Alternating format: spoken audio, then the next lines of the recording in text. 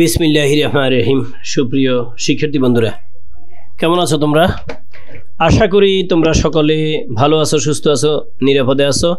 তোমাদের সঙ্গে রয়েছি আমি মোর্শেদ আলম। আইসিটি ওয়ার্ল্ডের পক্ষ থেকে তোমাদের সকলকে স্বাগত জানাচ্ছি আজকে নবম শ্রেণির শিক্ষার্থীদের ডিজিটাল প্রযুক্তি বিষয়ের একটি সেশন নিয়ে আলোচনা করব। প্রিয় শিক্ষার্থী বন্ধুরা, তোমরা ছবি দেখতে পাচ্ছ। ছবিটি কিসের ছবি বলো তো? হ্যাঁ তোমরা ঠিক বলেছ, এটি পাইথন প্রোগ্রামের লোগো আজ আমরা শিখব পাইথন প্রোগ্রামের কন্ডিশনাল স্টেটমেন্টস আজ আমরা শিখব পাইথন প্রোগ্রামের কন্ডিশনাল স্টেটমেন্টস প্রিয় শিক্ষার্থী বন্ধুরা, তোমরা খেয়াল করো introduction to conditional statements conditional স্টেটমেন্টসটা কি? এই বিষয়টা তোমাকে বুঝতে হবে। অর্থাৎ শর্ত নির্ভর যে কাজগুলো, এগুলো কীভাবে করা হয়, তার কোড কীভাবে লেখা হয়, এই বিষয়গুলো তোমরা আজকে শিখবে। প্রিয় শিক্ষার্থী বন্ধুরা, খেয়াল করো definition conditional statements allow you to execute different blocks of course based on certain conditions. Importance, essentials for decision making in programs প্রিয় শিক্ষার্থী বন্ধুরা, এবারে দেখো দ্য ইফ স্টেটমেন্টস খেয়াল করো if x is greater ten print x is greater then ten প্রিয় শিক্ষার্থী বন্ধুরা, তোমরা খেয়াল করবে, যেখানে ইফ দ্বারা কি বোঝানো হচ্ছে? ইফ শব্দের অর্থ কি? ইফ শব্দের অর্থ হচ্ছে যদি। আচ্ছা তাহলে আমি তোমাকে বলি, যদি এটা দ্বারা কি কন্ডিশন বোঝাবে তুমি? তুমি বলবে, যদি আজ বৃষ্টি হয়, তাহলে খিচুড়ি খাব। ঠিক আছে? তাহলে তুমি কি কাজ করবে? তার জন্য একটা কন্ডিশন দিয়েছ। যদি আজ বৃষ্টি হয়, তাহলে খিচুড়ি খাব। প্রিয় শিক্ষার্থী বন্ধুরা, এবারে দেখো দ্য ইফ ইলস স্টেটমেন্টস আমি একটু আগে তোমাকে বলেছি ইফ কন্ডিশন অর্থাৎ যদি একটা কন্ডিশন এবারে তোমাকে আরেকটা কন্ডিশন দেখাচ্ছি। এটা হচ্ছে যদি আজ বৃষ্টি হয়, তাহলে খিচুড়ি খাব। তাহলে বৃষ্টি না হলে কি হবে, এটা আগের স্লাইডে বলি নেই ঠিক না? হ্যাঁ তুমি ঠিক ধরেছ। এবারে তুমি খেয়াল করবে। আমি কি করেছি? যদি আজ বৃষ্টি হয়, তাহলে খিচুড়ি খাব। যদি বৃষ্টি না হয়, তাহলে সাদা ভাত খাব। ঠিক আছে?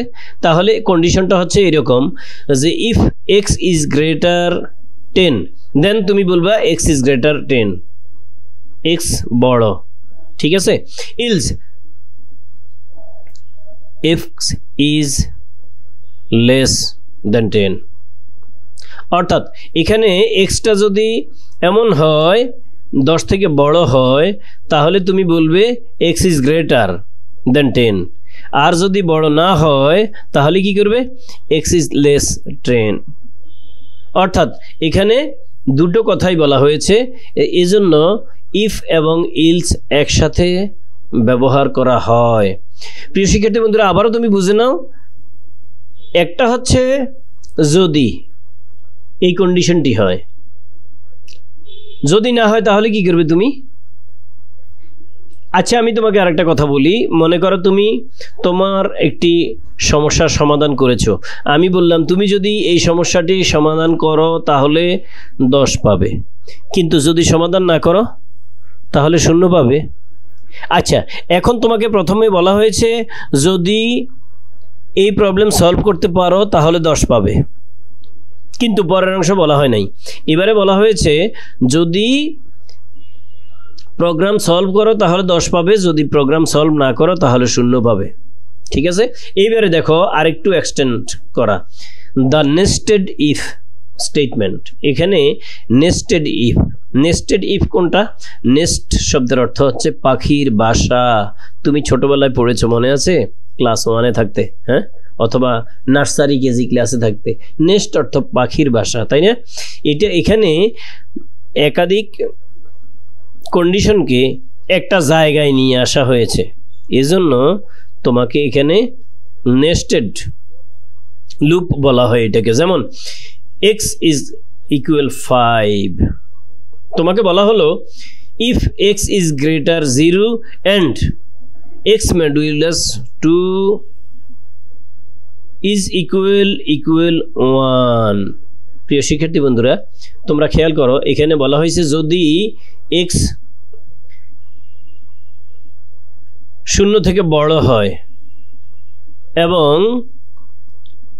এক্সটা শূন্য থেকে বড়ই আছে এখানে এক্স সমান ফাইভ দেওয়া আছে, তাহলে যদি এই এক্সকে দুই দ্বারা ভাগ করলে ভাগশেষ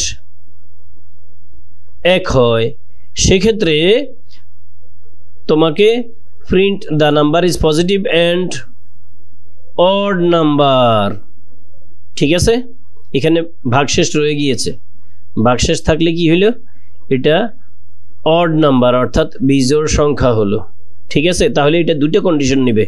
একটা হলো সে এক্স জিরো থেকে বড় হইতে হবে। আরেকটা হলো তাকে দুই দ্বারা ভাগ করলে ভাগশেষ এক হইতে হবে। তবে কি হবে? তবে সংখ্যাটি হবে পজিটিভ এবং অড নাম্বার অর্থাৎ এটা হবে ধনাত্মক এবং বিজোড় সংখ্যা। প্রিয় শিক্ষার্থী বন্ধুরা, এবারে দেখো তোমাকে আরেকটি কন্ডিশন দেখানো হচ্ছে। এটি হচ্ছে the if else elif statement. অর্থাৎ এখানে একাধিক ইফ কন্ডিশন ব্যবহার করছ তুমি। কীরকম জানো? তোমাদের আগে তোমরা সৃজনশীল পরীক্ষা দিতে মনে আছে? হ্যাঁ একদম ঠিক। সেখানে তোমরা সিকিউতে পাশ করো, যদি সিকিউতে পাশ করো এবং যদি এমসিকিউতে পাশ করো এবং উভয় বিষয় মিলিয়ে তেত্রিশের বেশি পাও, তাহলে তুমি পাস খেয়াল করছ? কয়টা কন্ডিশন তিনটা কন্ডিশন একটা কন্ডিশন হইল তুমি সিকিউতে পাশ করতে হবে। আরেকটা কন্ডিশন হলো তুমি এমসিকিউতে পাশ করতে হবে। আরেকটা হইল দুইটা মিলিয়ে তোমাকে তেত্রিশের বেশি পাইতে হবে, তাহলে তুমি pass.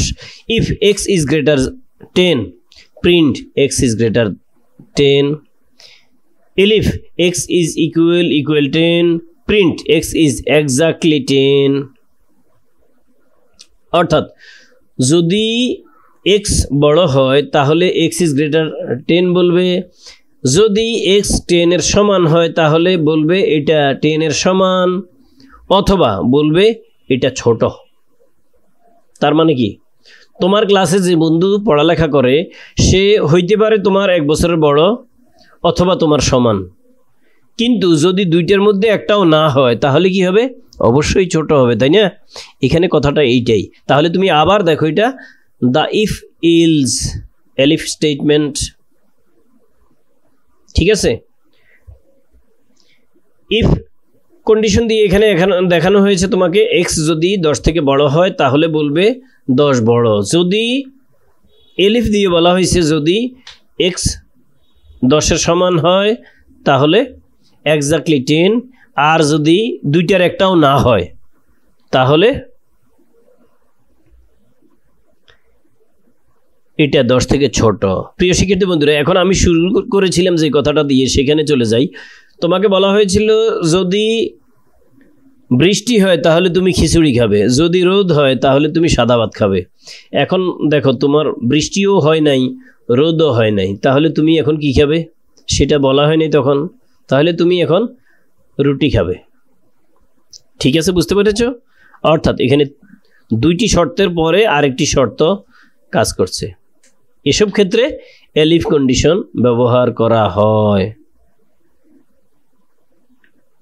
প্রিয় শিক্ষার্থী বন্ধুরা, এবারে দেখো মাল্টিপল কন্ডিশনাল স্টেটমেন্ট অর্থাৎ একটার বেশি কন্ডিশন ব্যবহার করা হয়েছে যেখানে এটাকে মাল্টি মাল্টিপল কন্ডিশনাল স্টেটমেন্ট বলা হয়। যেমন, তুমি বলেছ যদি তার বয়স আঠারো এর বেশি হয় এবং তার বয়স চল্লিশ থেকে কম হয়, তাহলে লোকটা ইয়াং। বুঝছ না বুঝো নাই? হ্যাঁ মনে করো তোমার বড় ভাই। তোমার বাবার থেকে ছোট, তোমার থেকে বড়। তাহলে দুইটা কন্ডিশন যেমন মাল্টিপল কন্ডিশন অতএব দেখো if x is greater five and y is less ten then print x is greater then five and y is less then ten আজ এই পর্যন্ত শেষ করছি। সকালে সুস্থ থাকো, ভালো থাকো, নিরাপদে থাকো। আল্লাহ হাফেজ।